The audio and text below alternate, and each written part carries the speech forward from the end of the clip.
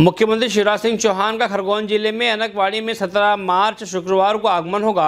आगमन की तैयारियों का जायजा लेने बुधवार शाम को कलेक्टर शिवराज सिंह वर्मा और एसपी धर्मवीर सिंह अनकवाड़ी कार्यक्रम स्थल पर पहुँचे। अभी कार्यक्रम स्थल पर पांडाल और तमाम व्यवस्थाएँ प्रारंभिक चरण में है। यहाँ एक लाख तीस हज़ार वर्ग फीट क्षेत्र में डोम और पांडाल लगाया जाएगा, जबकि 40 बाई साठ वर्ग फीट में मंच लगाया जाएगा।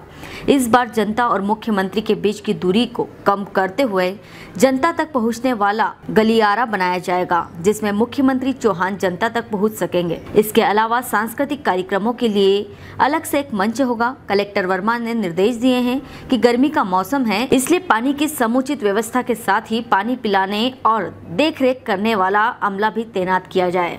Bureau report, Khargone.